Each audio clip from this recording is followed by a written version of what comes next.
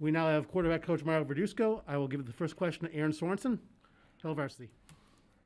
Hey, Coach. Uh, I'm going to start Hi, with. Erin. How are you? Hi. I'm good. How are you? Sorry for the delay. Oh, you're fine. Um, you know, without fans, it's going to be a quiet stadium that actually can be a benefit for an offense on the road.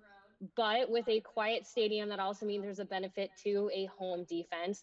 So when you're thinking about the snap count, um, can you share a little bit of how you may be preparing for that, whether it's mixing things up, changing the rhythm, the cadence, how you work with that in practice?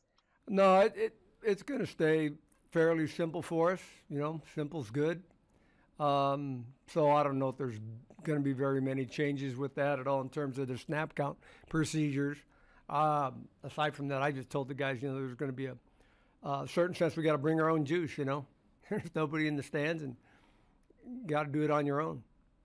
And we've all been through those sorts of those sorts of games, even when there's stands on the field, and you might be playing an opponent who you might have overmatched and is not doing very well. So you go to their place, and they don't have very many fans in the stands. So you always tell your team, bring your own juice. Okay, we'll continue with Parker Gabriel, Lincoln Journal Star. Hey Mario, how are you? Hi, Parker. How are you? Doing well. You Um, look depressed. you You said right? in the. Well, I'm I'm not stressed. Not No, at all. How about you? You look relaxed. Um, you you've said in the past, and and Scott had said in the past that you, you don't typically favor a you know two quarterback system, whatever that means. Are you in a position where you have two guys that you'd like to get regular playing time and i guess how do you how do you walk that balance when you have players you really like in, in both adrian and luke Oh, I don't, I don't know about that. That's going to be ultimately Frosty's decision, you know, um, as relate to how that all gets played out. But I think you'd love to have as many good quarterbacks in your room as possible that you feel good about, that you feel can go into a game if they have some game prep and um, win a game for you. Um, so yeah, feel good about Adrian and Luke both. Okay, we'll go to Brian Christopherson, 24 7 Sports. Hey, coach, how you doing? Hi, Brian. Um, quick question about McCaffrey. What, when you look back at his first year here, what was, what are one or two things where you thought he had to make the biggest, uh, the biggest strides in uh, coming into this season, and how have you seen him do that? Um, stroke, thrust on the ball. You know, he's worked hard on that in the offseason, and it's showing up with um, the way he's flinging it around right now. Um, some small issue feet things, but nothing major. He's cleaned those up. Uh, do we have more work to do? Absolutely. So there's still things we're going on. But I would, to answer your question, uh, it, it'd probably be thrust on the ball, you know, just in terms of that effectiveness and efficiency with it. A quick one on Logan too. Where, where do you see him at? Uh, how, how does he fit in here in this kind of weird, disjointed off season? Yeah, um, very similar to how when when Luke came in, his issue particularly was uh, he just didn't get very many reps in spring, right? You know, so we've done uh, as good a job as we possibly can getting him caught up with the experience part of it. But like Luke, he had some things that he needed to get cleaned up, and because of the delay, you know, I think in a kind of a weird goofy ass way, he's probably further ahead than he normally would be. Excuse my French. Okay, we'll go with Evan Bland, Omaha World Herald. Hey, Mario. Good morning. Hi, Evan. Hey, I'm just curious as you uh, evaluate Luke and Adrian specifically in this thing, how much would you say the experience gap has closed between those two from last year? And how big a factor is that as you evaluate these guys moving forward? Oh, I don't think it's as probably big as maybe it would be if rep if Lucas had never got any got any reps. Number one, number two, uh, Lucas has got a boatload of reps with both the uh, twos and the ones during camp. So I I wouldn't say that's a, a, a huge a huge uh, factor to answer your question. Okay, next we'll go to Derek Peterson, Hail Varsity. Hey Mario, how are you? how Hey, what's up? Hi, I like the glasses, man. Thank you. I like yours too. Surprised you out of them. Um, so everybody all the time talks about how competition brings out the best in players. You've got two guys, in Adrian and Luke, that are battling with each other this offseason. For for each guy, so for Adrian, is there a specific area that Luke excels in that you see pushing Adrian? And then is there a specific area that Adrian excels in that you see pushing Luke? No, not not really. They're very similar in a lot of ways in terms of their skill set. Okay, we'll go to Mitch Sherman from The Athletic. Mario, good to Hi, see you. Hello. Um, last time we saw you guys play, there were a handful of uh, reps where um, Adrian and Luke were on the field at the same time. Um, hypothetically, what uh, you know, what kind of stress can you guys add to a defense if uh, if that's a, an option that you choose to go uh, with more in uh, in 2020? You would probably know as well as anybody that can create stress for a defense, particularly when both of the young guys are capable of running it and throwing it. You know, um, how much of that scheme wise Coach Frost wants to do, that would be best a question for him. But I certainly think when you have that availability, uh, it certainly helps you. It did help the Browns, even though it wasn't a quarterback throwing the ball to our guy in the end zone. But yeah, it it it uh, is pretty dangerous. Have you guys Okay, well, have you guys spent any time spent any time this offseason, you know, studying whether it's NFL or other colleges and just the way they've been creative in using uh, um, not necessarily multiple quarterbacks, but just uh, weapons, uh, the, multiple weapons, uh, you know, in along the lines of what Mario and, and Luke can bring. Um, Adrian, you mean? Sorry, uh, Adrian and Luke. Yeah, you're not. I, I don't know if I can play any. I, I doubt that I'd be very, very good. But Mitch, as uh, Coach Lubick is the, the consummate ball guy. Seriously, he's he's all about it. So uh, I'm certain that he's uh, dealt in that piece of the puzzle, you know, and what he can do uh, in terms of finding uh, offenses or plays or what have you. Uh, having two quarterbacks on the field.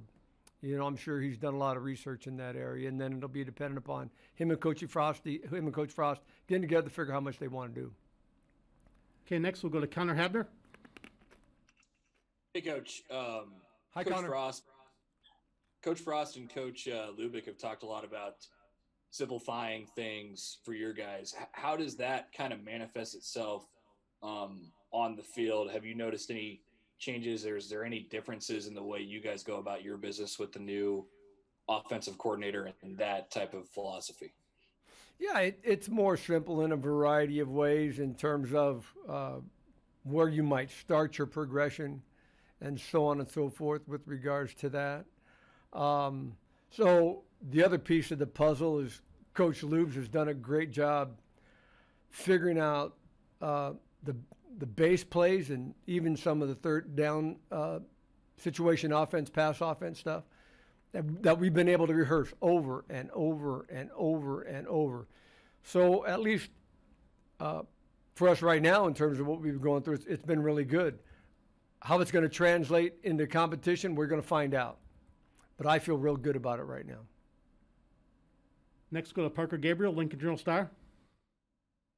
Hey Mario. Um, so I'm curious about the with everybody, you know, getting an extra year of eligibility and this year, you know, quote unquote, not counting for your eligibility clock.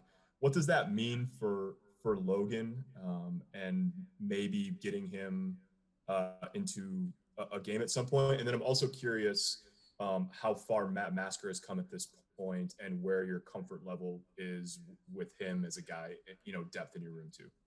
Well, first off, regards to Logan, um, it's a great opportunity for him, you know, and he, he would love to play without losing any eligibility. So he's he's ready for that. Uh, with regards to his playbook test and all that craziness, he, he's he, he's sharp as a tack. So he's ready to go in terms of that.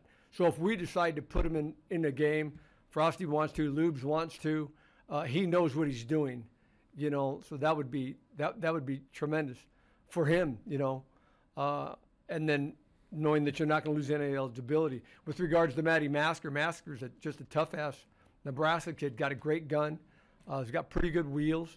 So we, we feel confident with him that if he had to come in and, and do X, Y, Z, then that's exactly what he would do. Next, we'll go to Parker Gabriel, Lincoln Journal Star. Oh, I, that was that Oh, was sorry, my question. sorry, so Parker, my fault. I'm good. I'm good. There's two Sh- Parkers. Sean Callahan, Ri- Nebraska Online. uh, hey, Coach Verduzco. Um, just Coach Frost said the other night uh, on his radio show that you guys will hold a pretty good sized scrimmage on Saturday in the stadium uh, with just limited time, limited contact. How big will something like Saturday's scrimmage be in, in making those final evaluations? Oh, just probably no different in a lot of ways just from day to day practice. You know, it, it's going to be those same sorts of pressures, they, those same sorts of situations that come up, and um, it'll be a factor. But I don't know if it'll be the overall major factor. And then I wanted to Last ask you, how did you how did you manage um, just the emotions of this whole off season of not knowing when or if you were going to play? I mean, were there some dark days and up and down days? I mean, uh, I'm sure it was quite a roller coaster for all the coaches. Me personally, you asking? Yeah. I, I from my own my, my own personal standpoint, I, I just looked at it that we're playing, and I worked and I prepared as if we were going to play. Uh, I told the quarterbacks to to think of it that way. That way, yep, whatever happens, happens. If they delay us, they delay us. But I, I yeah, it, it gets to be a kind of a pain in the ass, you know, when you get delayed over and over. But uh, to be able to fight that, that that's how I dealt with it, uh, Sean. To be honest, I just we're going to play, and if it gets delayed, then we're going to play the next week. If it gets delayed again, then whenever they tell us we're going to play, we're going to play, and we're going to prepare. Okay, we'll finish up this round of questions with Sam McEwen from the Omaha World Herald. Mario, how you doing? I'm doing fine, Sam. How are you? Good. I, I'm keeping my screen dark because I don't want you to tell me I'm depressed. Oh Um, man, come on, man. Let me see that lovely face, yo. Yeah, yeah, I know, I know, I do. Um, so you're um, I, this is kind of a follow-up question to what Sean was asking. You know, you, you're a you're a very hands-on and very you know you coach in a very personal way with your quarterbacks, and I'm just curious how the coronavirus may have changed that a little bit. I know that you're used to giving giving the guys, for example, their tests in your house and all that other stuff. How how has that changed? And more importantly, quarterback is a position where if you lose a bunch of guys um, because of contact tracing or whatever, uh, it's a problem. So how how do you kind of navigate how you're coaching them so that if one guy tests, maybe another guy doesn't get it, so on and so forth. Yeah. Uh, first off, I'm a hugger, so I, I couldn't hug them as often as I'd like to. That's number one. Uh, number two, uh, Jared Lambrick and and uh, Simson, the guys have done a great job with handling that and getting some different rooms and so on and so on and so forth, right? Um, which was interesting for us when we got back to the quarterback room. I put names on each of their chairs um, so that they were sitting in the same chair all the time, making sure they were spread out. When I get here in the morning, I get those, uh, I don't know, what are they, Clorox disinfectant towels, whatever the hell they are. So I go in every morning and I, and I wipe down their chairs, the back of the chair, where they're sitting, the keyboard, and all of that sort of stuff uh, to make certain that we're as um, self contained in this bubble and clean as possible. I hope that answers your question. It does. Yeah, yeah. You feel has it otherwise been normal? Like when you're coaching them out on the field?